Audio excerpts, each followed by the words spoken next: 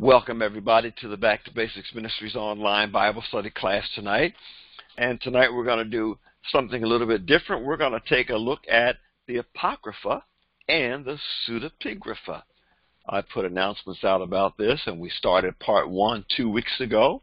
We'll take another look at the Apocrypha and the Pseudepigrapha. Okay, and I'll be working from um, a Bible that my mother gave me some years ago. It's an old book that she found.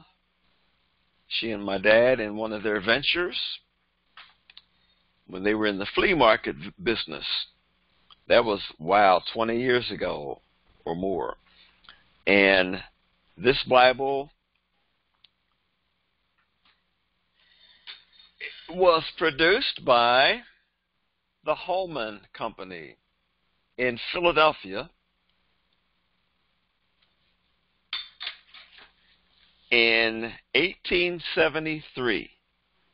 A.J. Holman and Company, Philadelphia, 1873. And it includes the Apocrypha and a concordance and the Psalms. So this is one of those Bibles that had the Apocrypha included in it. This particular Bible has a you can put a lock on it, has a clamp on the end, and um, and it's all brown. The pages are brown and dusty. So I guess I should be wearing a mask while looking at it with allergies, but uh, we'll take a we'll work from it anyhow without the mask. Let me get it ready. And I hope you all are doing fine. Praise God. I pray that all of you are doing very well. We are welcome our international community and those who join us by way of the recording. Pray that you all are doing well in your different nations. And um, since I opened this Bible, I feel a sneeze coming on, so if I have to sneeze, please forgive me.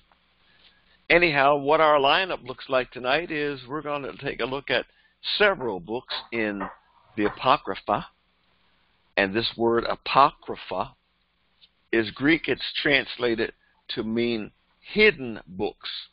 Hidden books. The apocrypha are the hidden books, the so-called hidden books.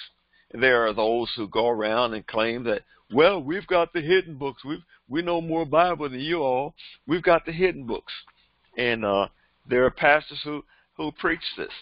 And so um, I'm going to ask Gene Bratton to say something about the Apocrypha while I sneeze. Come on, Dr. Jane. That's funny. That's funny. Um, the Apocrypha, when people say they have the hidden books of the Bible, well, if they were hidden, how did they get them? So it's out there. It's in the uh, Catholic Bible and some other um, religious um, denominations have the Apocrypha in their Bible. I have an old Bible also. Um, it's a pulpit Bible from maybe the early 1900s from the Methodist Church, the African Methodist Church. It's falling apart also, and it has the Apocrypha in it. So it's out there. It's not hidden. Thank you, Dr. Jane. Thank you, Dr. Bratton. Praise God. You know, we're in the archives tonight, ladies and gentlemen. Uh, uh, that just opening this Bible brought on a, a sneeze, you know, and so uh, thank you, Dr. Jane Bratton, for substituting pinch hitting. Praise God. Thank you for having you in the wings. I appreciate you very much. Praise thank God. You. Praise God. So, um, a lot of churches, as Dr. Gene says, use the Apocrypha in their preaching, in their teaching. But we do not. We do not believe that um, these books were accepted in the uh, Council of the Bishops in 250 BC, nor in the Nicene Council, the Council of Nicaea, 325 AD. And so, um, even though one of the writers of, or reputed writers, is Ezra, and who he wrote First and Second Esdras. These books are not attributed to Ezra. um, they believe that someone taking Ezra's name uh, wrote this. But all in all, you can glean some good history from First and Second Esdras, First, Second, Third, and Fourth, the Maccabees. We're going to take a look tonight at First Esdras.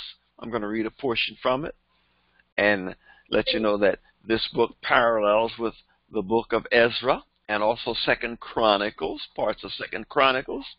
Then we'll look at Tobit, the book of Tobit, and I'll share some excerpts from Tobit.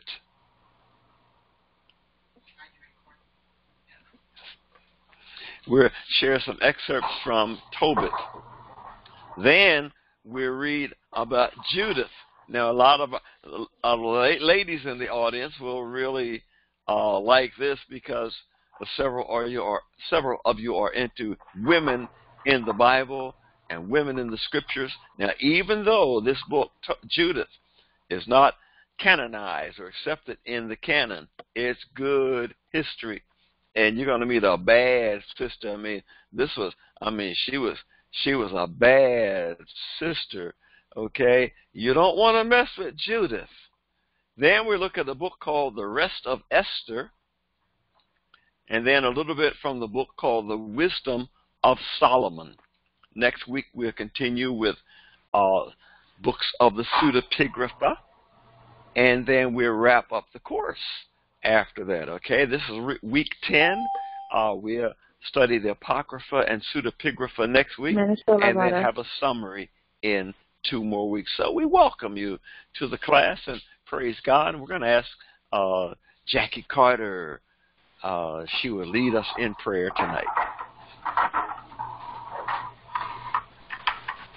Heavenly Father, we thank you for the opportunity together again a way of technology, Lord, in order to hear more of your word and the word that you have for us through Pastor Carter.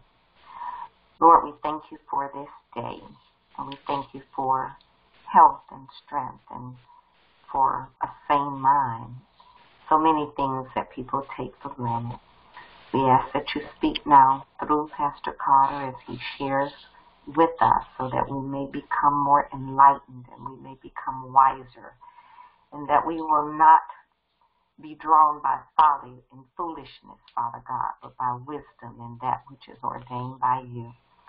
We ask that you speak through him to us and that we be receptive to what he has for us. In Jesus' name we pray. Amen. Amen. Thank you, Jackie. Thank you very much. Okay, the Apocrypha and Pseudepigrapha, Part 2. We're continuing where we left off two weeks ago. And tonight we will look at first Esdras, Tobit, Judith, the rest of Esther, and the Wisdom of Solomon. These are apocryphal books. The word apocrypha meaning hidden books. So when your friends in the Masonic Lodge or these secret societies say, we, we know the hidden books, we've got the hidden books of the Bible. You tell them no, they were not accepted by the biblical bishops, the bishops who put the Bible together, whom God selected to choose the writings. No, these books were not accepted by the Council of Nicaea, and so tell them, no, you don't have anything that uh, God is trying to hide from us. You know, that's how God, that's how Satan deceived Eve in the garden. Satan caused Eve to think, well, you know, God said, did not God say, thou shalt not uh, eat uh, uh, the fruit? Thou shalt not even uh, uh, uh, eat this fruit, touch this fruit, and and and and this and that. And if so, you'll be you'll surely die. And Eve said, yeah, well, you won't die. You won't die. And and the, serpent, Satan, beguiled Eve to make her think that God was trying to hold back something from her. And so uh, Eve, in her curiosity, she sinned against God and then caused her husband to sin against God. Adam, who had the responsibility for his, his household, the spiritual responsibility, allowed his responsibility to be taken, usurped by the devil. And um, men and women all over the world these days are allowing the devil to steal their their power, their authority. Jesus has given us all authority. And so if you deny Jesus Christ, you're denying your kingdom authority. So use the authority God has given you. If Satan has deceived you, repent and get back where you ought to be. Get back on the the the the watchtower that God has placed you on. Walk in the authority. Walk in kingdom authority. And uh, and I say this to many many people who've been deceived by the news. I mean, you uh, I heard a, a message from a friend of ours yesterday. We don't watch CNN news anymore uh, because it's it's it's biased. Well, so they returned to Fox News. Hey, you walked out of the fire into the cauldron. You've walked into the fiery furnace. Okay? You've got to discern for yourself what is truth and what is not. Jesus said, I am the way, the truth, and the life. And so I say all this, whether it's to hear preaching from Matthew, Mark, Luke, John, or from 1st and 2nd Esdras, or 1st, 2nd, 3rd, and Maccabees. If you're not alert, people can pull the wool over your eyes and Satan can deceive you. And so we we we put it out there out front to you. The books we're teaching tonight tonight are not scripture. They are not scripture. Well, they've they've been accepted in the Greek Bible. Well, uh, are are you Greek? You're a Greek Christian. Not to put down Greek Christians, but the Greek Bible is incorrect. Well, I'm from a Roman Catholic background. Well, the Roman Catholics were incorrect in in canonizing these books. And so um, God has given us these scriptures, 66 books, from Genesis through Revelation, and they have been approved by the Holy Spirit. And even though some of the writers of these uh, false books or hidden books may have been writers of uh, the Gospels or uh, writers of books now in the Bible, these writings were not approved. The authorship has been challenged in many cases. Historical events have been challenged in many cases. And so, so we preserve these books as um, good uh, examples of getting into the culture of the times and the historicity of the time or the history of the times, but we do not accept these books based on the fact that God ordained councils, ladies and gentlemen. The council in 250 BC and the council in 325 AD. God ordained councils for the specific, specific purpose of the Holy Spirit directing the bishops and the elders to choose the books, the various from the various books. They had hundreds of writings, and God uh, anointed men to choose which books would be in His Word, His Bible, the Word of God. Having said that, um, I have before me uh, First Esdras. Esdras is another word for Ezra, and so I'm going to be taking it. I'll read a few uh, some lines from chapter 2 of First Esdras. And as I read this, we're looking at, you can see parallels in Second Chronicles 36 and Ezra 1, verse starting with verse 1. And in this um, chapter 2, Cyrus is moved by God to build the temple, and he gives leave to the Jews to return and contribute to it he delivered again the vessels which have been taken from the temple, and Artaxerxes forbids the Jews to bid any more. So in, in the second chapter, we read about how Ezra, how Cyrus proclaimed that the temple shall be rebuilt. And that's historical fact. Isaiah prophesied that Cyrus would decree a return of the Jews and the rebuilding of the temple.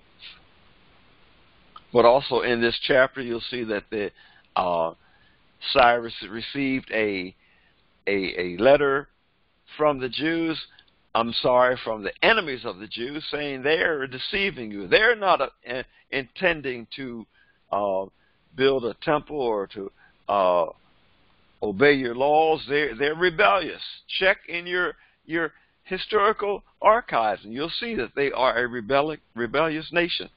And so the king did that, and as a result, the kings uh, called a halt to the construction. So here's from First Esdras chapter two, starting with verse one. In the first year of, of Cyrus, king of Persians, of the Persians, that the word of the Lord might be accomplished, that he had promised by the mouth of Jeremy, meaning Jeremiah. The Lord raised up the spirit of Cyrus, the king of the Persians, and he made proclamation through all his kingdom, and also by writing, saying, Thus saith Cyrus, king of the Persians, the Lord of Israel, the Most High, God, High Lord, hath made me king of the whole world, and commanded me to build him a house at Jerusalem in Jewry.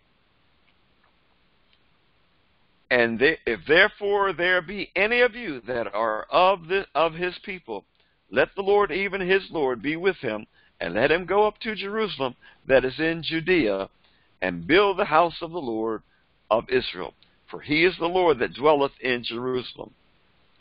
Whosoever then dwell in the places about, let him help him, those I say that are his neighbors, with gold and with silver, with gifts, with horses and with cattle and other things which have been set forth by vow for the temple of the Lord at Jerusalem. Then the chief of the families of Judea and of the tribe of Benjamin stood up, the priests also and the Levites, and all they whose mind the Lord had moved to go up and to build a house for the Lord at Jerusalem. And they that dwelt around about them and helped them in all things with silver and gold, with horses and cattle, and with very many free gifts of a great number whose minds were stirred up thereto.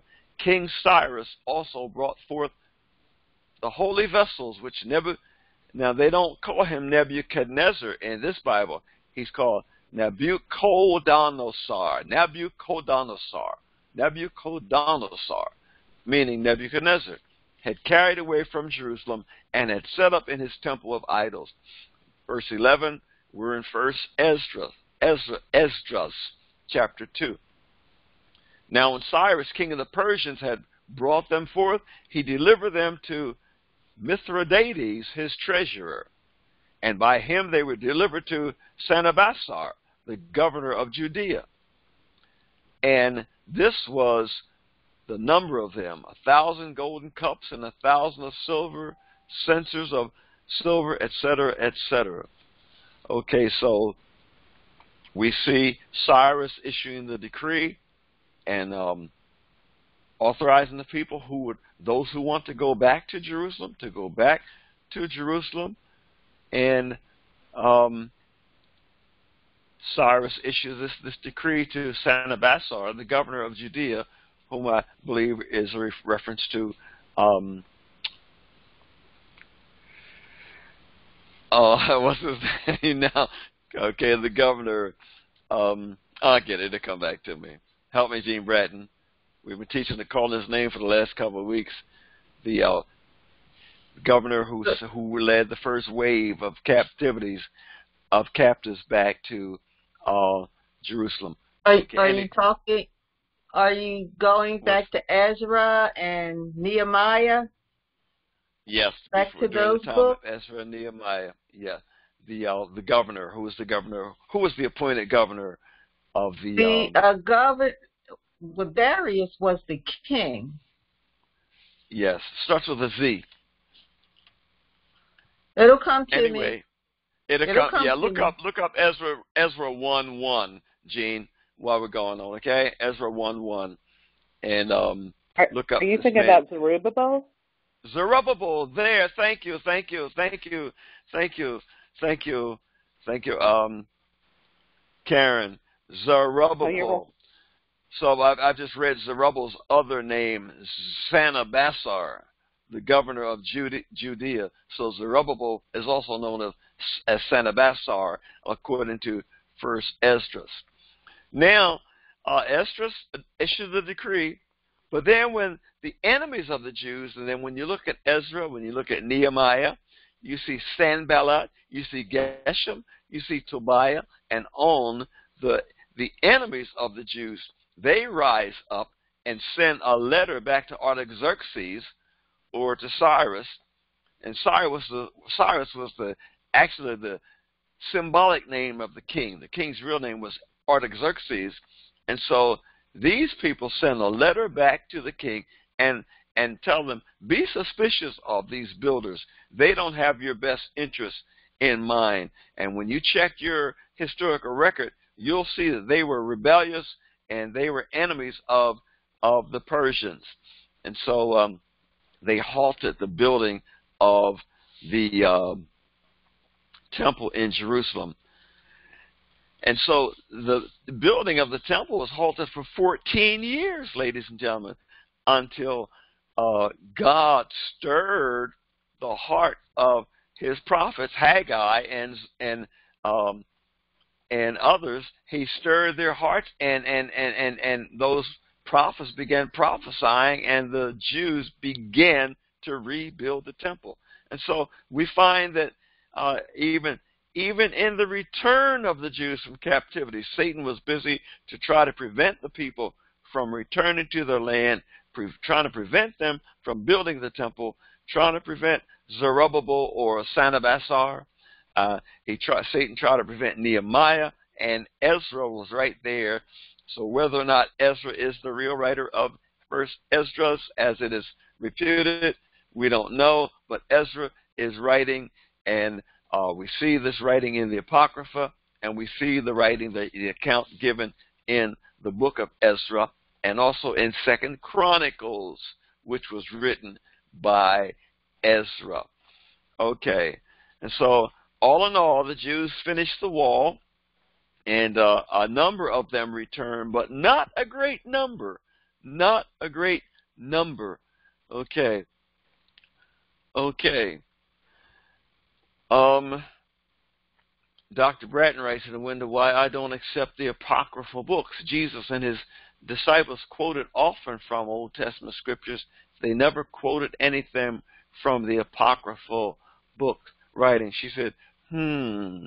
Now, when you look at um, in in the New Testament, when you look at the book of Jude, Jude, when we look at Jude, there is a portion of Jude that is believed that Paul um, quoted from uh, some of the apocryphal books. Okay, Jude is just a short chapter, and read Jude. There is a portion, there's a portion of Jude that is believed that Paul did quote from um, one of the books, but it doesn't tell you which book. Um, I haven't, I did not research that out too well today, and I don't have any anything specific to give to you. But um, Dr. Gene, you're correct. Jesus never quoted from the Apocrypha or the Pseudepigrapha. He quoted from the Psalms and the the the, the, the prophets and the writings. Okay. Um, but there are a couple of the evangelists, Paul being one, who it's reputed that they did make some references, references to historical books uh, to, to share some facts with people. But as far as specifics, we don't know. Okay, any questions on this uh, class so far? Any questions thus far?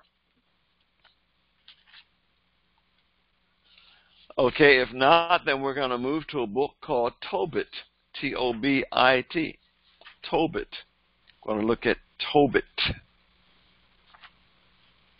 and see what this book is all about. I'm going to read a few excerpts from the book of Tobit. Keep in mind, Pastor Carter does not preach from the Apocrypha. I do not preach from the Pseudepigrapha. I do not encourage you to do so. I take a stand with the bishops of the church and the elders of the, of the Jewish community that these uh, and I take my stand with the Holy Spirit that these were not um, canonized books. I take my stand with the, the, the Word of God. All Scripture is given by inspiration of God and is profitable for doctrine, for reproof, for correction, and for instruction in righteousness. I do not stand with those who preach from the Apocrypha or the pseudepigrapha. I do not stand with the Masonic order. I am not a Mason. I do not agree with uh, their theology. Okay? I agree with the Word of God as it is given us in Genesis, Exodus, Leviticus, Numbers, Deuteronomy, Joshua, Judges, Ruth, First and Second Samuel, First and Second Kings, First and Second Chronicles, Ezra, Nehemiah, Esther, Job, Psalms, Proverbs, Ecclesiastes, Song of Solomon, uh, Isaiah, Jeremiah, Lamentations, Ezekiel, Daniel, Hosea, Joel, Amos, Obadiah, Jonah, Micah, Nahum, Habakkuk, Zephaniah, Haggai, Zechariah, Malachi. I agree with them. I also agree with Matthew, Mark, Luke, John, Acts, Romans, 1st and 2nd Corinthians, Galatians, Ephesians, Philippians, Colossians, 1st and 2nd Thessalonians, 1st and 2nd Timothy, Titus, Philemon, Hebrews, James, 1st, 2nd Peter, 1st, 2nd, 3rd John, Jude, and Revelation. That's what I agree with, and I pray that you agree with uh, those 66 books also. Praise God. I was not trying to show off, but I was just trying to show you that I committed these books to memory a long time ago. And I encourage you to put commit your books to memory. Uh, don't depend on flipping to the table of contents. Get these books in your spirit. Not only the order of the books, but get the contents in your spirit. The Bible says, study to show yourself approved unto God, a workman who needeth not to be ashamed, rightly dividing the word of truth. Because, ladies and gentlemen, if you don't rightly divide the scripture as the word of truth, you'll be blown away like many followers of the Mormon church who uh, who follow the writings of Joseph Smith and and and and um, have the book of the Mormon, which is an aberration of the Bible, ladies and gentlemen. If you're not alert, you'll be a follower of the Koran, and then you'll be looking dumb like a lot of other our people with some of our Supreme Court justices and uh, people being uh, uh, um, um, being installed in offices, official offices in the United States, looking and putting their left hand on the Koran and lifting their right hand up to God. Ladies and gentlemen, that is blasphemy. You can't read. you can't put your left hand on the Quran and raise your right hand to God. That that it doesn't work. It doesn't work that way. God is not the author of the Quran. God is the author of the Holy Scriptures. All scriptures given by inspiration of God and is profitable for doctrine, for reproof, for correction, for instruction. But see, if you don't know, then you don't know. And if you don't know, you'll be deceived. And a lot of people are being deceived out of ignorance. A lot of people believe that Quran supersedes the Bible. No, no, a thousand times no. The Bible, uh, the New Testament was written uh, uh, at least the New Testament was finished and canonized in 325 AD. The Quran was written around 550 AD. And so the the Bible was complete before the Quran even was written. And the Quran is an aberration, ladies and gentlemen. It's a blur of the truth. And and and when you get a blur of the truth, you get falsehoods and lies. And so what we have today is a lot of people believing lies, and they will kill you based on the lies that they believe. But we are to stand, and having done all, to stand. Stand therefore with our loins girded about with truth, having on the breastplate of righteousness, wearing the helmet of salvation, having shoes on our feet that will speed the preparation of the gospel of peace, having our the belt of truth around us, and and taking the shield of faith wherewith we shall be able to quench all the fiery darts of the wicked and taking the sword of the spirit ladies and gentlemen that's the word of god it's a two-edged sword the sword of the spirit cuts through all that garbage, all that mess, all the falsehoods, all the lies. And in addition to that, ladies and gentlemen, we have been equipped by the Holy Spirit to cast down all vain imaginations and every high thing that, that exalts itself against the knowledge of God. Praise God. And taken captive God has given us the ability by the Holy Spirit to take captive every thought in obedience to Christ Jesus. That's the stand that the Christians ought to be taking today, and not uh, not even entertaining demons and entertaining uh, thoughts from other books. But yet we must read these things to know where the enemy is coming from. Well, I think I just gave a good old overview and a stand on your guard post and stay alert, alert and stay awoke uh, a sermon right there. But let's take a look at Tobit. Okay. The book of the words of Tobit, son of Tobiel, the son of Anan, Ananiel, the son of Aduel, the son of Gabael, of the seed of Asiel, of the tribe of Naphtali, so Tobit was of the tribe of Naphtali, who in the time of Anamesar, king of the Assyrians, was led captive out of Thisbe, which is at the right hand of that city, which is called properly Naphtali in Galilee above. Okay, and so um, Anamesar, when you look at Second Kings, you, you, you, see Anamesar. He goes by a different name. Okay, I think it's I think it's Sennacherib. Sennacherib is his name. Verse three. I, Tobit, have walked all the days of my life in the way of truth and justice, and I did many alms deeds to my brethren and my nation who came to me to Nineveh into the land of the Assyrians. And so uh, Tobit uh, this person Tobit lived at the time of Jonah. Okay, at the time of Jonah, Jonah prophesied after the Assyrians had. had uh, uh, Jonah prophesied before the Assyrians came and captured the northern kingdom in 721 BC.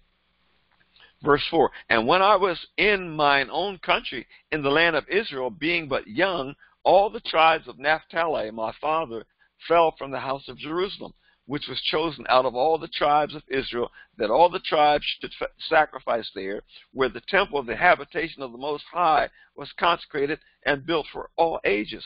And, and so Tobit is saying, as a young man, the tribes uh, uh, uh, around my father's area, they broke away from Jerusalem. They were commanded to go to Jerusalem to worship now all the tribes which together revolted, and the house of my father Naphtali sacrificed unto the heifer Baal.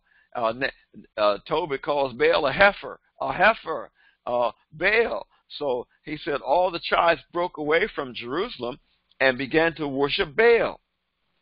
But I alone, verse 6 of chapter 1 of Tobit, but I alone went off into Jerusalem at the feast as it was ordained unto all the people of Israel by an everlasting decree, having the first fruits and the tenths of increase, took the first fruits and the tithes, which that which with that which was first shorn, and then gave I at the altar to the priests, the children of Aaron. The first tenth part of all increase I gave to the sons of Aaron, who ministered at Jerusalem, Another tenth part I sold away and went and spent it every year in Jerusalem. And the third I gave unto them to whom it was meet, as Deborah my father's mother had commanded me, because I was left an orphan by my father. So we learn that Tobit had been an orphan, and his mother commanded him to tithe. Furthermore, when I was come to the age of a man, I married Anna of mine own kindred and I of her begat Tobias. So Tobit was the father of, of a man named Tobias. And when we were carried away captive to Nineveh, so he places this at the time of the captive captivity by the Assyrians. Tobit says he was carried away to Nineveh. So that happened in the year 721 BC. Furthermore, when I was come to the age of a man, oh, and when we were carried away captive to Nineveh, all my brethren and those that were of my kindred did eat of the bread of the Gentiles. But I kept myself from eating. because I remembered God with all my heart. So Ezra, I'm sorry, Tobit said he refused to eat the food of the Ninevites. He continued to eat the food that was ordained by God, the kosher food. And the Most High gave me grace and favor before Enemessar, meaning Sennacherib, Sennacherib, the king of Assyria, as that I was his purveyor. Purveyor means he was his purchasing agent. He became the purchasing agent for the king. And I went into Media and left in trust with Gabael, the brother of Gabrias, at Rages, a city of Media, ten talents of silver. So this is a little bit about him.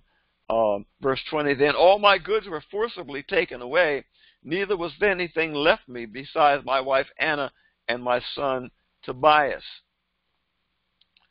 Let, let me back up a verse, okay?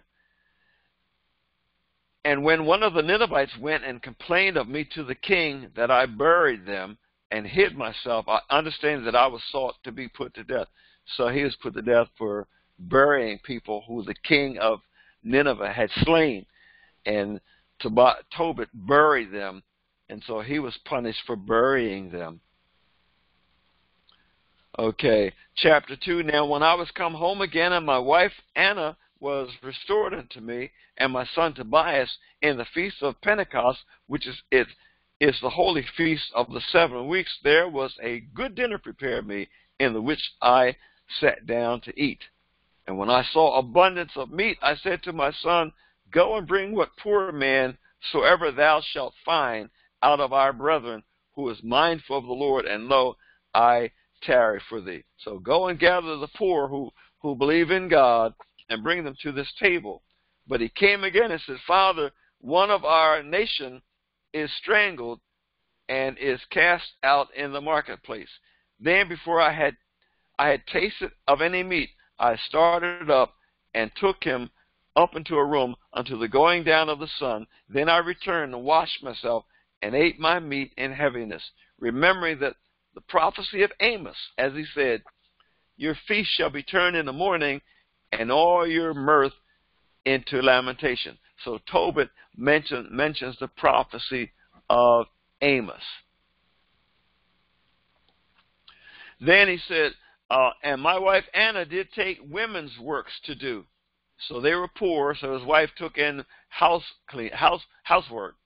And when she had sent them home to their owners, they paid their wages and gave her besides a kid. So um, they gave her a goat because she washed people's clothes. And when it was in my house and began and began to cry, I said unto her, from whence is this kid? In other words, where is this goat from? Is it not stolen? Render it to the owners, for it is not lawful to eat anything that is stolen. But she replied unto me, It was given for a gift, more than the wages.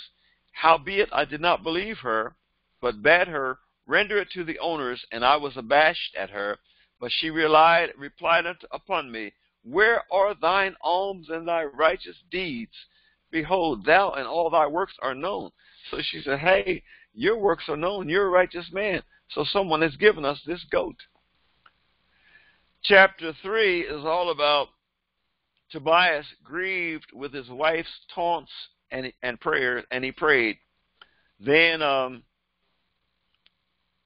an angel sent to help them. Then I, being grieved, did weep, and in my sorrow prayed, saying, O Lord, thou art just and all thy wor- works and all thy ways are merciful and truth, and thou judgest truly and justly forever. Remember me and look on me. Punish me not for my sins and ignorance, and the sins of my fathers who have sinned before thee, and they obeyed not, for they obeyed not thy commandments.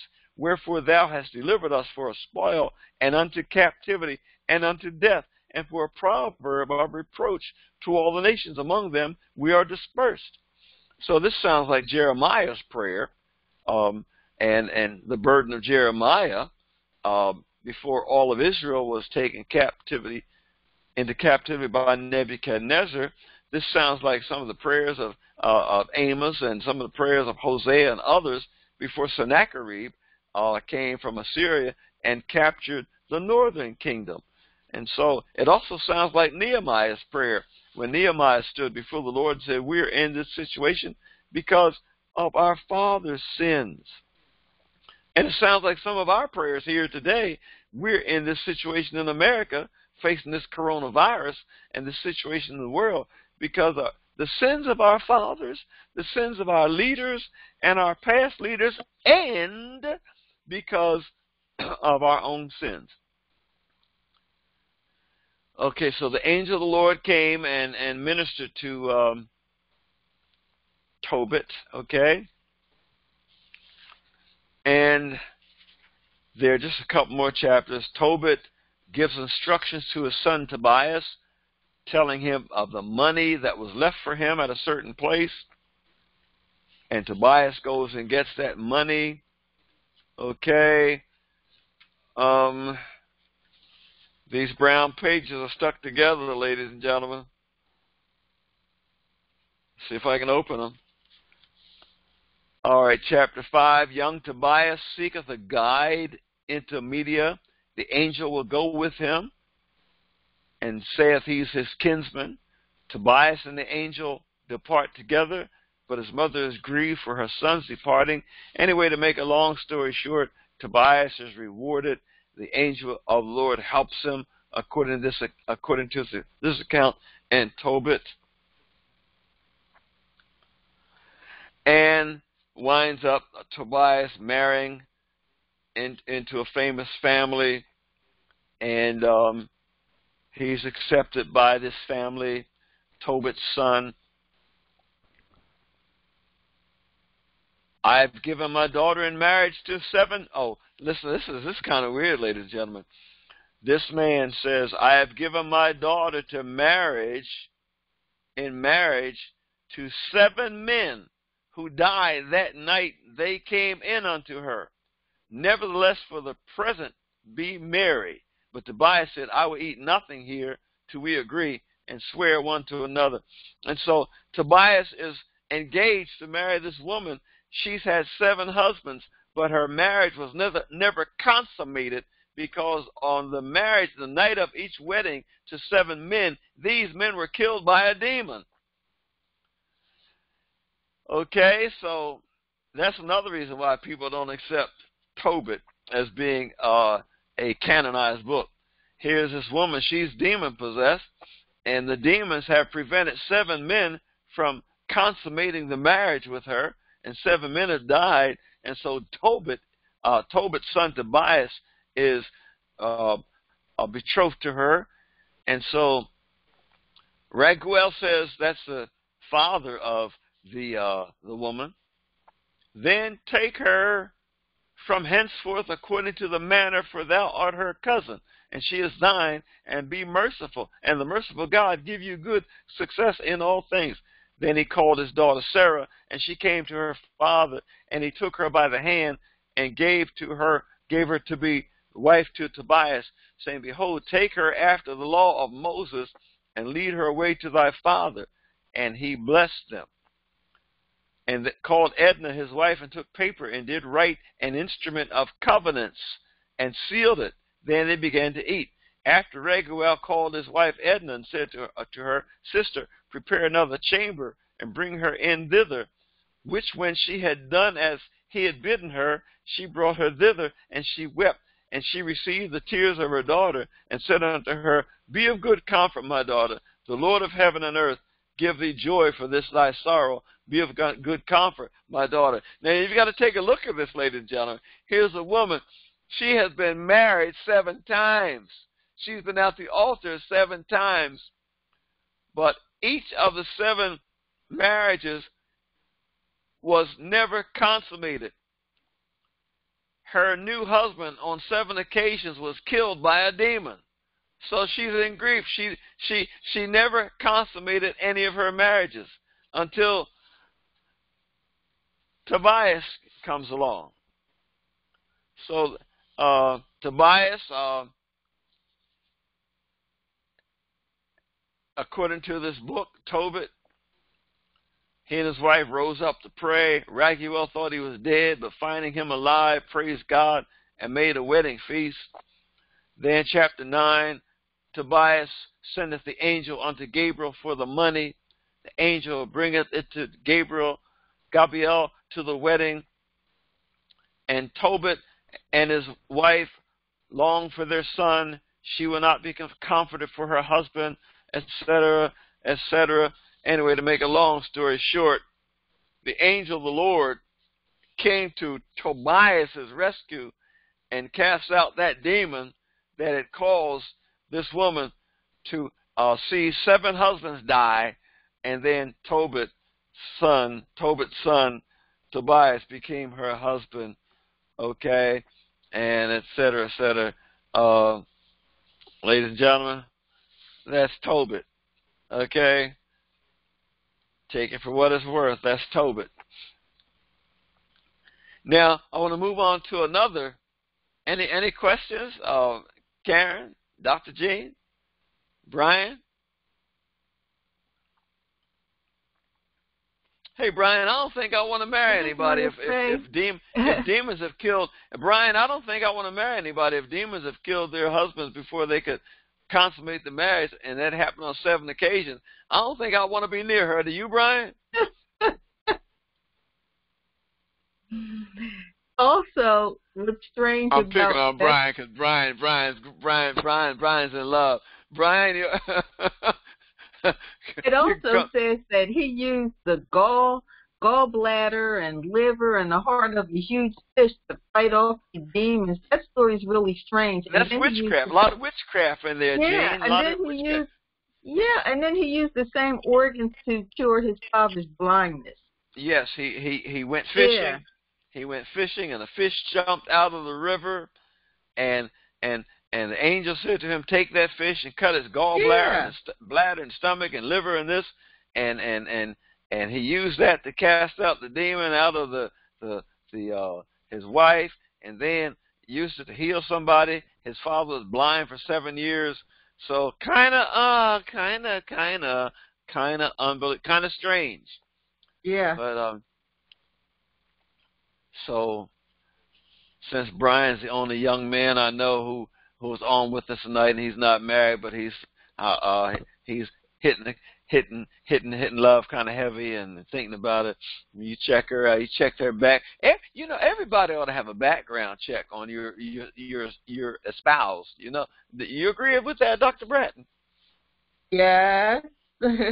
do an FBI check, do a background check, do a spiritual. You, most people don't do a spiritual check. They just go and get married.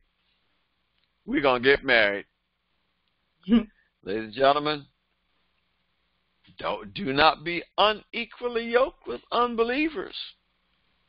Because when you're unequally yoked with an unbeliever, you when you marry that unbeliever, you're marrying those demons that have been assigned the territory of that, of that person that you're going to marry. Any questions on that? Any comments on that?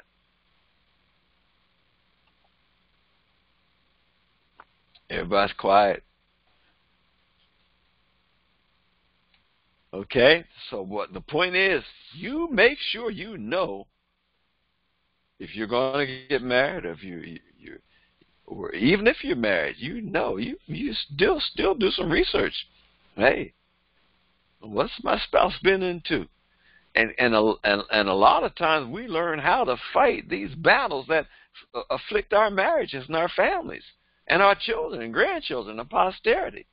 Okay, because a lot of people uh, through witchcraft and necromancy and and marine spirits and and uh, people held seances and made pacts with the dead and ghosts and and demon powers and and and then and then you marry one of them. That's why a lot of marriages need to be delivered. A lot of folks need to repent. Yeah. Uh, uh, uh, uh, we need to repent for who we used to worship and things we did. And every one of us need to do a good old uh, security check on ourselves. And then once you find out, you plead the blood of Jesus. Get the blood Amen. of Jesus in on that. Amen. I see uh, co-pastor Lisa Johnson's on board with us. Uh, co-pastor Lisa, we've been teaching this for years, haven't we? Sure have. Sure have. Amen to that. You got to do a do a check because you don't know what you're getting till you got it. Don't know what you're getting. But but mom, but mom, but mom, he's so pretty. I heard, I heard, I heard one of my sisters say that. But mom, he's so pretty. Mom said, "Don't you mess with that boy. He, he's trouble." But mom, I mean, he, my sister. I'm not talking about my sister Jackie. Okay, uh, my deceased, departed sister. She said, "But mom, he's so pretty." I mean, she's described him as being handsome. He's so pretty. Yeah, you better watch out for those pretty boys. Okay, everything look good ain't good. And and and think of the many people whose lives have been messed up. And and and and and and we've all made mistakes by being hooked up with the wrong person. And and and and some of those mistakes we make they last a lifetime. Some people never recover from from from uh, uh, being in close relationship with someone who has been has a, a pact, a, a, a relationship, uh, or been possessed by demons. And so, so that's why. Well, you may say, well, Pastor, the blood of Jesus cleanses us. Yes, the blood of Jesus cleanses us from all that. And I'm one who would tell you, yes, yes, the blood of Jesus cleanses us. But if you don't know, if you're not born again, and if you've not surrendered to Jesus, and ladies and gentlemen, let's look at this. Every person born again has not been delivered. Mm-hmm. I'm going to repeat that. Every born again person has not been delivered. Just because okay, you're saved now, and then you got you you you're you're engaged, and your fiance goes to church with you. That doesn't mean she's delivered. That's right. You better find out what's influencing her. That's right. You better find out who, uh, what enemy she been sleeping in, and on the flip side, Amen. uh, sister, you better find out who he been sleeping with. I know it's tight, but it's right. tight, but it's Uh, right. Truth anyhow. I've counseled a lot of people. I've had people hate me for this kind of counseling. Man, I had a couple come to me about 30 years ago, Dr. Bratton, and when it was all over, she got up and left the meeting, and he got up and shook his head at me, gave me the dumb look, and he went out and married her anyhow. And he caught hell. That marriage didn't even last a week. Mm. And and think of the many times in our own defiance, you your mama said, mama said, don't, mama, don't mess, don't marry her. I see something in her, but mom, mom, you don't see what I see. mom, I'm sorry, mom. I'm sorry, mom. We don't roll the same way. You don't see what I see, and you don't feel what I feel. Do you see what I see? and, and it turns right. Turns out, Karen, that Mama was right. Mama was right. Some of us have gotten in the messes. It's going to take eternity to get us delivered. Some of us will welcome all the rapture. no, no, no. Now, look, look, look. Hey, Brian, I'm not trying to scare you off and getting married, man, but Brian, there are some folks who will re- welcome the rapture. Come, Lord Jesus. Come quickly, Lord Jesus. Deliver me from this. Come quickly. Some of us, I'm, I'm gonna I'm gonna change that because Jackie might say, "Tell some some of us. What you mean, some of us? Some people will while welcome the rapture. Some people will welcome the rapture. Whew. Karen, I've dug a hole for myself. So let's move on, okay? There's a book in the Apocrypha called Judith. If you think Tobit was something, check out Judith. Okay? Here's a book called Judith, and not a whole lot of chapters. Let's see, how many chapters in Judith? How many chapters you got? Okay, you got 15 chapters. And um, Judith, Judith, this was this sister was this sister was a mean sister. In the twelfth year of the reign of Nebuchadnezzar, who reigned in Nineveh, so Judith was a contemporary of Tobias and Tobit. Okay, and talks about Nebuchadnezzar. He made the gates thereof, even gates that were raised to the height of seventy cubits, etc., etc. Then he sent to all those who dwelt in Persia, and to all that dwelt westward, and to those among the nations that were there, all who were in Samaria, okay, to come before him. And all the inhabitants of the land made light of the commandment of, of Nebuchadnezzar when they went with him to the battle, for they, they were afraid of him. Therefore Nebuchadnezzar was very angry with all his country because they he called them to join him to go to battle, and they didn't come. And he swore by his throne and kingdom, verse 12, and he would surely be avenged upon all those coasts of Cilicia, Damascus, Syria, and that he would slay with the sword all the inhabitants of the land of Moab, and the children of Ammon, uh, and all Judea, and all that were in Egypt, till ye come to the borders of the two seas. Then he marched in battle array with his power against King Arphaxad in the seventeenth year, and he prevailed in his battle, and he overthrew all the power of Arphaxad and all his horsemen and all his chariots. and he returned again to Nineveh, both he and all his company of sundry, sundry nations. And that describes, so we get a little history out of this. We get historically how Nebuchadnezzar overthrew Sennacherib, the Assyrian, who overthrew the ten tribes in 721 BC. So Nebuchadnezzar came and overthrew them. Okay, chapter 2 of Judith talks about the kingdom. Uh, okay, so let's jump down to chapter 3. So they sent ambassadors unto him to treat of peace, saying, Behold, we the servants of Nebuchadnezzar, the great king, lie before thee. Use us as shall be good in thy sight.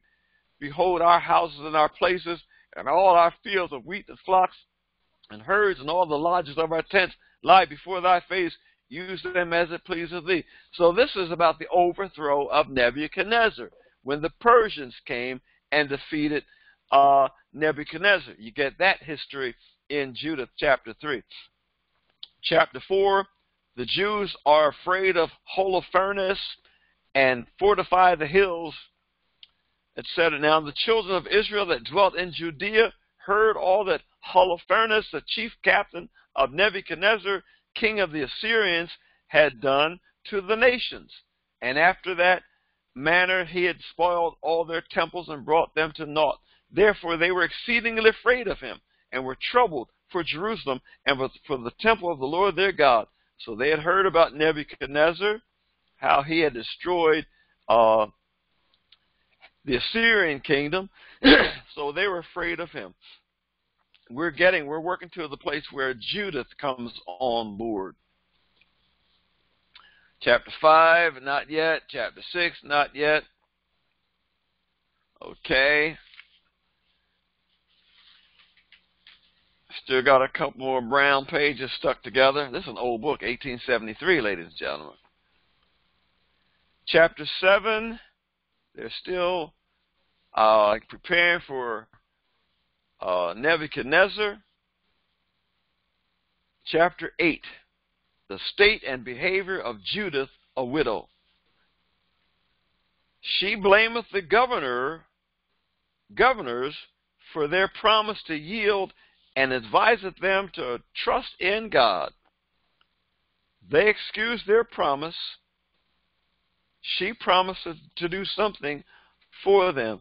and so here comes Judith on the scene with all this background of killing and war and destruction and spoil, and the children of Israel being in great fear. Verse 8, chapter 8. Now at that time Judith heard thereof, which was the daughter of Merari, so she was a daughter of the Merarites, and the, actually she's from the priestly class of the Merarites. okay, who were three of the sons of uh, of um, Aaron.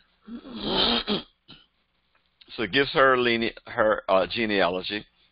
Talks about her husband, verse two.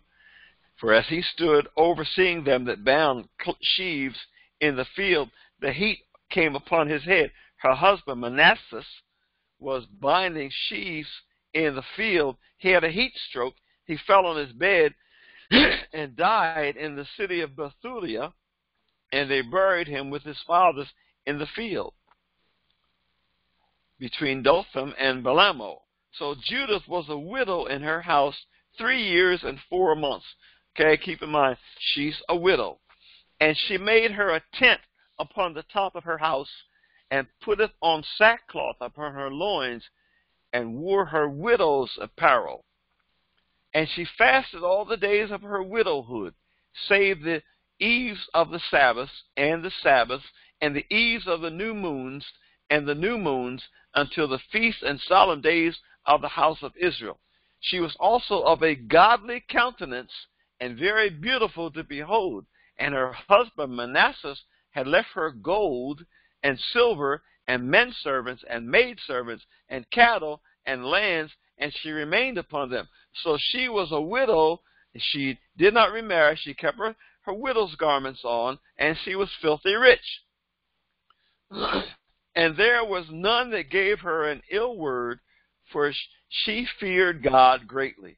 So Judith feared God, and people feared Judith. Now, when she heard the evil words of the people against the governor, that they fainted for lack of water, for Judith had heard all the words of Ozias had spoken unto them, and that he had sworn to deliver the city unto the Assyrians after five days, then she sent her waiting woman that had the government of all things that she had to call Ozias. And they came unto her, Hear me now, O ye governors, she said, of the inhabitants, for your words that ye have spoken before the people this day are not right, touching this oath which he had made and pronounced between God and you, and have promised to deliver the city to our enemies, unless within these days the Lord turn to help you. So she called all the leaders and said, uh, Your oath is not right. And now, who are you that have tempted God this day and stand instead of God among the children of men? And now try the Lord Almighty, but ye shall never know anything. For ye cannot find the depth of the heart of man, neither can ye perceive the things that he thinketh. Then how can ye search out God that hath made all these things, and know this his mind, or comprehend his purpose. She's saying, because you don't know God, you don't know him, so how can you uh, uh, uh, uh, make these decisions without your knowledge of God? Nay, my brethren, provoke not the Lord our God to anger. For if he will not help us within these five days, he hath power to defend us when he will, even every day, or destroy us before our enemies. So the enemy has come upon Israel, and Judith uh, in her, still wearing her clothes of mourning, rallies the leaders of the Israelites and and says that we need to call on God. He can deliver us in these days. They were given a, an ultimatum by the, the king of the Assyrians. She said, The Lord can help us within these five days. And if He can't, He can help us whenever He chooses to. That's what she's saying.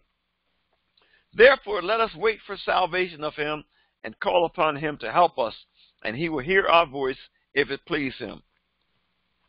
For there arose none in our age, neither is there any other in these days, neither tribe nor family, nor people nor city among us, which worship gods, which, which worship gods made with hands, as hath been aforetime. For the which cause our fathers were given to the sword, and for a spoil, and at a great fall before our enemies. She's saying it's because our fathers and ancestors and, and leaders we worship other gods and the gods of other nations that we're in this situation. So Judith is saying the same thing that Nehemiah said when he looked at the torn down, destroyed walls of Jerusalem. We are in this condition because our fathers sinned against God, we sinned against God, and we worship the gods of other nations. And so um, Judith continues on. Then said Ozias to her, All that thou hast spoken, thou hast spoken with a good heart, and there is none that may gainsay the, thy words. For this is not the first day wherein thy wisdom is manifested. But from the beginning of thy days, all the people have known thy understanding, because the disposition of thy heart is good. So that, that's a real commendation of uh, Judith. But the people were very thirsty and compelled us to do unto them as we have spoken, and to bring an oath upon ourselves which we will not break. Therefore now pray you for us, because thou art a godly woman, and the Lord will send us rain to fill our cisterns, and we shall faint no more. Then said Judith unto him, Hear me, and I will do a thing which shall go throughout all generations to the children of our nation. Ye shall stand this night in the gate, and I will go forth with my waiting woman. And within the gates that ye have promised to deliver the city to our enemies, the Lord will visit Israel by thy hand. And so uh, Judith addresses these leaders who promised to surrender the city to the Assyrians. Judith said, I'm going to go in to this king, and I'm going to do something. And so, sounds like Esther, you know, uh, if I perish, I perish. But inquire not ye of mine act, for I will not declare it unto you till the things he fin- be finished that I do. She said, Don't ask me what I'm going to do or how I'm going to do it. But she says, What I'm going to do, the Jews will be talking about this for generations to come. Then said Ozias and the princes to her, Go in peace and the Lord God be before thee to take vengeance on our enemies. So they returned from the tent and went to their wards. Okay. So, chapter 9, Judith humbleth herself. She prays to God in prayer uh, against the enemies of the Lord. Chapter 10, Judith does set forth herself. She and her maid go forth into the camp the watch take and conduct her to Holofernes. Holofernes is the name of the leader of the army of the Assyrians. and then it starts to get exciting. She goes to the tent and um, well, let me read this. Now, after that she had ceased to cry unto the Lord of Israel, and had made an end to, of all these words, she rose where she had fallen down, and called her maid, and went down into her house in the which she abode in the Sabbath days, and pulled off the sackcloth which she had on, and put off the garments of her widowhood. She washed her body all over with water, and anointed herself with precious ointment, and braided the hair of her head, and put on a tire upon it. Okay, put something on her head, and put on her garments of gladness, wherewith she was clad during the time life of Manasseh her husband. Judith uh, fixed herself up. She took the more clothes of mourning off. No longer was she dressing like a widow. She bathed, she put on ointment, and she prettied her, herself up. And she took sandals upon her feet and put about her her bracelets and her chains and her rings and her earrings and all her ornaments and decked herself bravely to allure the eyes of all men that should see her. She dolled herself up because she wanted to make get the attention of those men. And she gave her maid a bottle of wine and a cruse of oil, and filled a bag with parched corn and lumps of figs and with fine bread. And she folded all these things together and laid them upon her. Thus they went forth to the gate of the city of Bethulia, and found standing there Ozias and the ancients of the city and the, the leaders of the city were waiting for when, when she got there.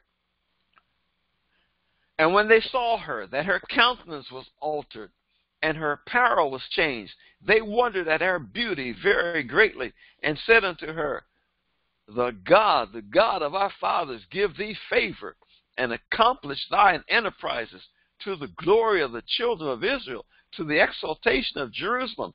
Then they worshiped God And she said unto them, Command the gates of the city to be opened unto me, that I may go forth to accomplish the things, accomplish the things whereof ye have spoken with me. So they commanded the young men to open unto her, and she as she had spoken. And when they had done so, Judith went out, she and her maid with her, and the men of the city looked after her, and until she was gone down the mountain, until she had passed the valley and could see her, her no more. Woo! And um, they took her and asked her, said, Of what people art thou? etc. And I am coming before Holofernes, she said, she said, I am a woman of the Hebrews, and have fled from them, for they shall be given you to be consumed.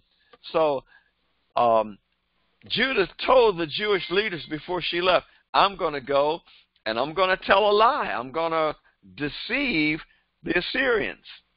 And so she said, here's her deception. She said, I am a woman of the Hebrews, which was true, and I've fled from them, which is not true, for they shall be given you to be consumed. For I am coming before Holofernes to declare words of truth, and I will show him a way whereby he shall go and win all the hill country without losing the body or life of any one of his men. She said, I'm here to show your captain the way to defeat the Jews and to take this city and, and without losing any one of your men. Now when the men heard her words and beheld her countenance, they wondered greatly at her beauty, and said unto her, Thou hast saved thy life, in that thou hast hastened to come down to the presence of our Lord. Now therefore come to his tent, and some of us shall conduct thee until they have delivered thee to his hands. They said, you, you, uh, because of your accountants and the things you've said, we're not going to kill you. We're going to take you to our captain. Then they chose out of them a hundred men to accompany her and her maid, and they brought her to the, to the tent of Holofernes. This is dramatic. It gets, gets even more dramatic. And they wondered at their, her beauty and admired the children of Israel because of her. And everyone said to his neighbor, Who would despise this people that have among them such women? Wow, how can you hate the Jews when they got such pretty women? That's what they were saying. Surely it is not good that one man of them be left, who being let go might deceive the whole earth. So we need to kill these Jews, they said, because uh, uh, they let something like this get away. They don't deserve to live. That's what they're saying. Okay, and when Judith was come before Holofernes and his servants, they all marveled at the beauty of her countenance. And she fell down upon her face and did reverence unto him, and his servants took her up. And she, I mean, she acted this thing out. She fell down before him, ladies and gentlemen. She was all dolled up. He was mesmerized by her beauty, and she fell down at his face and at his feet, and and she was ready, ready to perform her act of deception. Then said Holofernes unto her, Woman, be of good comfort, comfort. Fear not in thy heart, for I never hurt any that was willing to serve Nebuchadnezzar, the king of all the earth. Now for, if the people that dwelleth in the mountain had not set light by fire, I would not have lifted up my spear against them, but they have done these, etc., etc. Anyway, let's get down to the good part. He prepared a meal for her. Okay? There's not such a woman from one end of the earth to the other, both for beauty of face and wisdom of words. I mean, she had him now in the palm of her hands, Brian. She had him in the palm of her hands. And he said, There's not such a woman from one end of the earth to the other, both for beauty of face and wisdom of words. Likewise, Holofernes said unto her, God have done well to send thee before the people, that strength might be in our hands, and destruction upon them that lightly regard my Lord. And now thou art both beautiful in thy countenance and witty in thy words. Surely, if thou do as thou hast spoken, thy God shall be my God, and thou shalt dwell in the house of King Nebuchadnezzar, and shall be renowned through the whole earth. He told her, if you're if you're able to pull off what you promised you're going to do, your God's going to be my God. Okay. She okay. So the next chapter. I mean, this is dramatic. Then he commanded to bring her in where his plate was set, and bade that she should prepare for her of his own meats, and that she should drink of his own wine. And he, well, she said, I will not eat thereof, lest there be an offense. But provision shall be made for me of the things that I have, I have brought. So she refused to eat because she said she was there on a mission. Okay, so she refused to, to eat. Uh, further on in this chapter, then said Holofernes unto her, Drink now, and be merry with us. So Judah said, I will drink now, my Lord, because my life is magnified in me this day, more than all the days since I was born. Then she took and ate and drank before him what her maid had prepared. And Holofernes took great delight in her, and drank much more wine than he had drunk at any time in any day since he was born. Listen, listen, listen. Okay, he schemed. He he just he. Let me back up to verse 16 because this is dramatic. Now, when Judith came in and sat down, Holofernes' heart was ravished with her. He was blown off his off the planet, and his mind was moved, and he desired greatly her company for he waited a time to deceive her from the day that he had, had seen her. He knew he knew then he was going he was he was going to score. He just knew he was going to score. He was going to do the hat trick. Then said Holofernes unto her, Drink now and be merry with us. So Judah said, I will drink now, my lord, because my life is magnified in me this day more than all the days since I was born. She said, I'll drink now, I'll eat now, and I'll drink now. This is the greatest day of my life because I'm before you. Then she took and ate and drank before him what her maid had prepared. And Holofernes took great delight in her and drank much more wine than he had drunk at any time in one day since he was born. Now, Karen, should I go on or should we just pronounce benediction?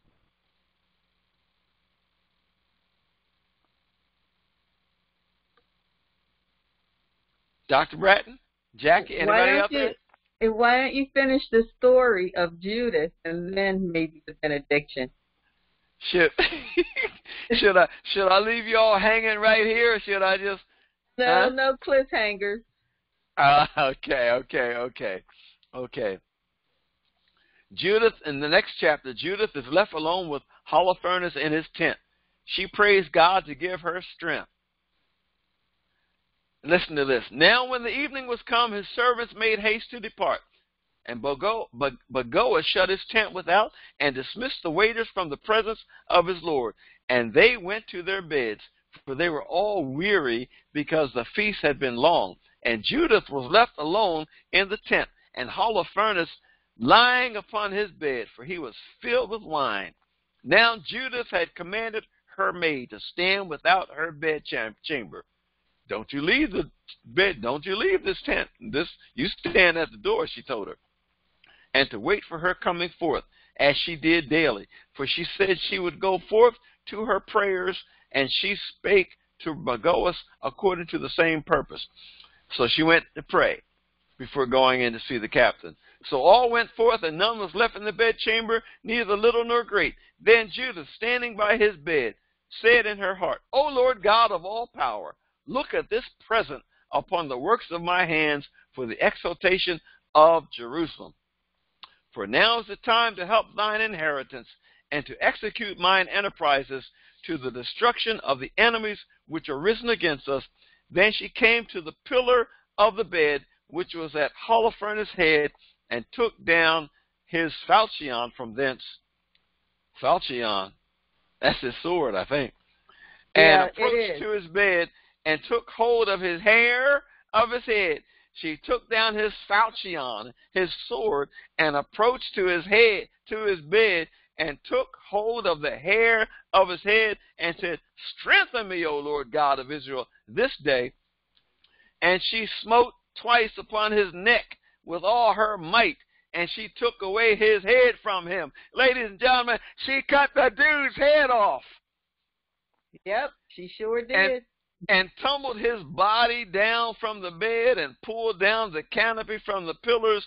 And anon after she went forth and gave Holofernes' head to her maid. Ladies and gentlemen, this lady was shrewd. She gave the head of the captain to her maid, and she put it in the bag of meat. The maid was carrying a bag of meat. So they twain went together according to their custom unto prayer. Ladies and gentlemen, she cut the dude's head off and then went to the prayer meeting. She cut the dude's head off and went to the prayer meeting. Everybody in church ain't right, ladies and gentlemen. Everybody in church ain't right. Everybody didn't come to pray. Karen, she cut the dude's head off. She smote him twice with the with the sword. Oh Lord, give me strength. Whack, whack. And then took his head and gave the head to her maid. Here, put this in the bag. Come on, let's go to prayer meeting. Oh my goodness. Lord, Lord, Lord. Okay, okay. Oh, he put it in her bag of meat, so they twain together went twain together to their as was their custom unto prayer, and when they passed the camp, they compassed the valley and went up the mountain of Bethulia and came to the gates there. All the time she carrying that bag of meat. You know, got me some Kentucky Fried. a bag of Kentucky Fried. Uh, what's that red stuff? What's that yeah, red yeah, stuff? that's, that's, that's, sauce. that's that barbecue sauce. Mm. then said Judith afar off to the watchman at the gate, Open, open now the gate. God, even our God, is with us to show his power yet in Jerusalem and his forces against the enemy, as he hath even done this day. Now when the men of the city heard her voice, they made haste to go down to the gate of their city, and they called the elders of the city. And then they ran all together, both small and great, for it was strange unto them that she was come. So they opened the gate and received them, and made a fire for a light, and stood around about them. Then she said to them with a loud voice, Praise, praise God, praise God, I say, for he hath not taken away his mercy from the house of Israel, but hath destroyed our enemies by my hands this night. So she took the head out of the bag and showed it, and said unto them, Behold, the head of Holofernes, the chief captain of the army of Assur, of the Assyrians, and behold the canopy which he did lie in his drunkenness, and the Lord hath smitten him by this hand of a woman. Whew, Brian, everybody grinning in your face don't, don't mean you any good. Y'all, Lord, Jesus. And the Lord, as the Lord liveth, who hath kept me in my way that I went, my countenance hath deceived him to his destruction. She said, The Lord kept me cool. She kept me cool. My countenance kept me from uh, uh, uh, uh, uh fainting, and mm-hmm. I accomplished my mission. Okay. Then all the people were wonderfully astonished and bowed themselves and worshiped God and said with one accord, Blessed be thou, O our God, which has this day brought to naught the enemies of thy people. And so the rest of this is how they praise God and acclaim Judith. And then said Judith unto them, hear, hear me now, my brethren, and take this head and hang it upon the highest place of your walls. And as soon as the morning shall appear, and the sun shall come forth upon the earth, take ye every one his weapons, and go forth every valiant man out of the city, and set ye a captain over them, as though ye would go down into the field to the watch of the Assyrians, but not go down, but go not down. So they're going to spoil the Assyrians. Okay. Now, mm-hmm. therefore, mm-hmm. okay, okay, okay. They they they they did that. Chapter fifteen. The Assyrians are chased and slain. The high priest cometh to see Judith. The stuff of Holofernes to is given to Judith. The woman, the women crown her with a garland, and she is made famous forever and ever. Chapter 16, the last chapter, the song of Judith. Okay, then began Judith to sing this thanksgiving in all Israel, and all the people sang after her this song of praise. Okay, so she sang a song of praise unto the Lord. Okay, that was Judith, ladies and gentlemen. She was a bad sister. I mean, she was an actress too. She was an actress. Okay. All right. So I'm not gonna. I don't have time to go into the rest of Esther, but there's a, there's more, and they claim that this is the end of the book of Esther that takes uh, place after uh, several chapters of Esther, and it describes the two men who were trying to kill the king, and Mordecai, Esther's cousin, found out, discovered the plot, and that's how Mordecai was elevated. Uh, and it talks about uh, Mordecai's elevation and the deliverance of the people, Esther's people. And then um, the final book I wanted to talk about tonight, The Wisdom of Solomon. Uh, this is a book about, it goes along with more like Ecclesiastics, uh, The Wisdom of Solomon, and um, I won't be able to read all of that tonight. Okay, uh, but some of the things in these chapters in the Wisdom of Solomon. The wicked thinks his, thinks his life is short and of no other after this. So the, the wicked don't believe in an afterlife. Therefore, they will take their pleasure in this and conspire against the just. And that which they do blinds them. So there's a lot of wisdom, um, wisdom that's in this chapter, but it was not attributed to Solomon. Okay, it's not believed that Solomon uh, put together this. Solomon was a compiler of great wisdom, and uh, he went all all over the world getting information from libraries, but this was not accepted as being written by Solomon. So I share with you tonight several excerpts from some of the books of the Apocrypha. Once again, we do not preach from the Apocrypha, although there's some good stories in here, but we get some good history and and then you get some pretty good fairy tales.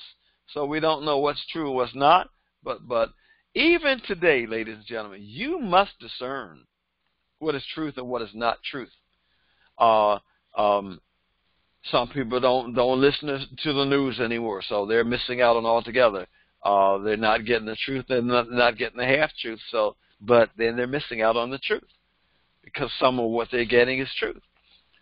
Okay, but we've got to discern whether what we're getting is truth. Even when you go to church, when you listen to a pastor, when the pastor opens that Bible, you have your Bible open.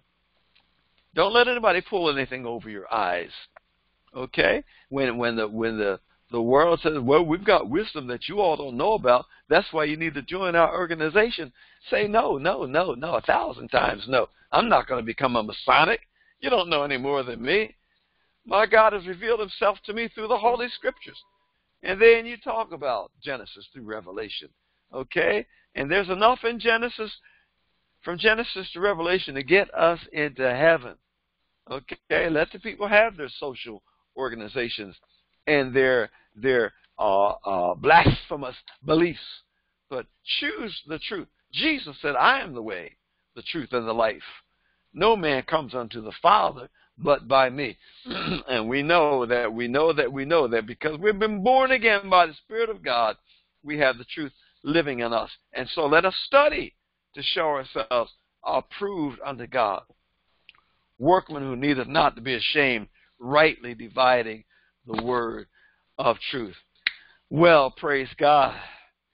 Jackie Carter, I'd like to turn this over to you, please, and lead us as you will. Thank you. Okay, there are no questions in the chat. Um, is there anything that anyone would like to comment on and share at this time? I was just thinking as we were going through the book of Judith that she is she was nothing like Esther, uh, who went before the king, and and she was actually very humble and wanting to, you know, she went about saving saving her people in a totally different way. yes, yes, yes, yes, yes, Karen. May I, may I inter- interject, Jackie? and the rest of Esther, just to piggyback on what Karen just said, in the rest of Esther, it talks about how, yes, Esther was much different from Judith, Karen. In the rest of Esther, in the Apocrypha, it says Esther was scared, not scared, Gene Bratton. She was scared. she was shaking in her boots. Her knees mm-hmm. were buckling. Because when the king, according to the rest of Esther, the king looked at her and and before he held out the royal scepter, he had an angry look on his face, like, "What? what oh, hey, I didn't call for you." And and and the, in the rest of Esther, it says she stumbled. She fell. She had to grab on to one of her maidens to maintain yep. her counseling, countenance, and she kept her cool and kept her faith, even though she stumbled. And and and that stumbling she played it to her own benefit because the stumbling caused the king to catch her and hold her in her arms. And he looked at her beauty and said what is it? What's your request? But mm-hmm. she was mm-hmm. scared. She was totally different. Judith was bad. Judith wasn't trembling one bit. Hack hack two smacks of the sword here put this in the bag i mean like she just went to the farmer's market cut those heads off that fish. P- wrap it up. Here, put this in the basket. Woo! Back to you, Jackie Carter. uh, I don't know. I guess I always try to look at things a little bit different because I'm thinking too that um, you're talking about a very young, inexperienced virgin versus a very seasoned um, widow. So that could have possibly played into a part of the differences between um, their boldness. Uh, I think in terms of similarities, they were both willing to do what they had to do in order to save um, someone else or save save their people. Um, any other comments? Yes, something yeah. about Judith that we all need to think about is, as um, Apostle Carter told the story, she asked God, she prayed to God to be able to lie. God doesn't lie. This is why it is part of the apocryphal uh, books. She's praying to be able to lie.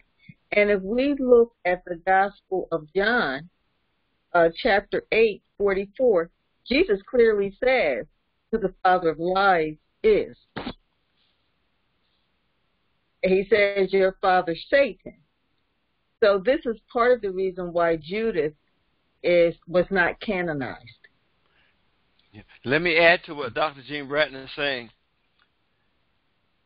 There, there is an episode where God does permit a lying spirit to go and tell the king.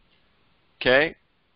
Even though God is not a liar, and not the father of lies, he has permitted a lying spirit because he, at, at one point God says, I think it's in Isaiah, who will go and tell the king and yeah. deceive the king? And a lying spirit, violent. Oh, oh, that was in second, second, uh, second Samuel about Saul. Who's going to mm-hmm. go and deceive the king? Okay, so those lying spirits, uh, uh, one of those demons popped up and said, "I'll go, I'll, I'll go, I'll lie to them." And so Judith had some help. Okay, and even though God does not honor lies, God permits lies.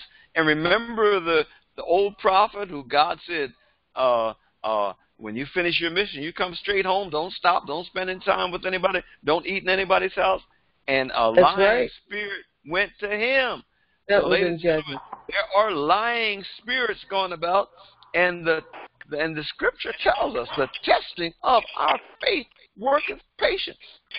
And Yeah. So many there are times we've got to deal with lying spirits, and God will allow a lying spirit to challenge our faith. Mm-hmm. And even that's so now. Mhm. I'm sorry, Jackie. I I, I turn it over to you, but I, I had leaped back into it twice. Jackie Carter, close it. Hey, Ben, Pastor Carter. What what I Yes? found was most interesting is that the understanding of the canonization is something that we as the church should teach in new converts and new members class to give the new people their first taste of apologetics so that they understand and are able to defend the word and also understand why those books were canonized and the other ones weren't. Yes, it, it ought to be taught. It ought Yep. to be taught. It ought Yep. to be taught. Uh, even even added to that, Pastor Sam, um, the whole story of how we got our Bible, how the Bible came through these translations, how people shared their blood just to get a copy of a manuscript into somebody's hands so that they could translate it. Thanks, Pastor.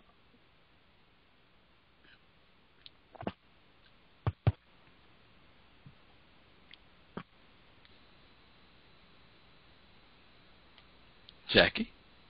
I don't have anything else. Let them go home then. Okay. Any other comments?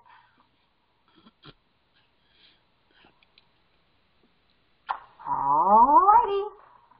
Father God, we thank you for our lesson tonight, for enlightening us and opening our eyes to your truth, for giving us a greater understanding of the Apocrypha and the books that were shared tonight.